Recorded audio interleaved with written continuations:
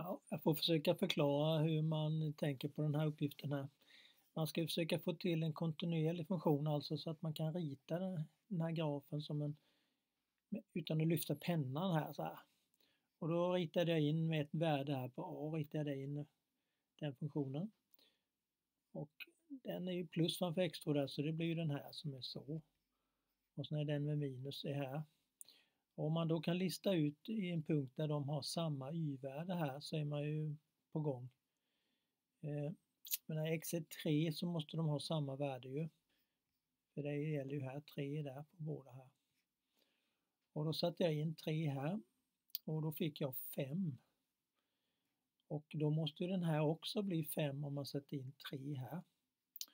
Och då löser man den ekvationen då, det blir 2 där och sen 3 gånger a minus 9 ska bli 5.